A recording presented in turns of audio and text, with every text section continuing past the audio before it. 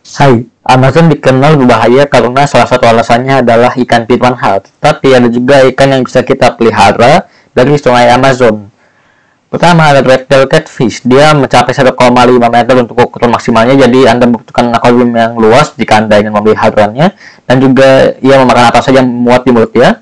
Lalu ada ikan manfish atau angelfish, dia bisa memakan pelet, serangga kecil, atau invertebrata invertebrata kecil lalu ada atau paima dia juga mencapai 3 meter. Jadi anda membutuhkan akuarium yang sangat luas juga. Daya memakan ikan-ikanan dan daging-daging. Lalu ada ikan silver alwana dia makan jangkrik atau serangga-serangga kecil atau cacing dan ikan-ikan kecil. Lalu ada ikan diskus. Diskus ini memiliki banyak motif dan juga ia memakan tanaman dan cacing-cacingan juga bisa. Dan beberapa pelet khusus untuk dia juga bisa. Terima kasih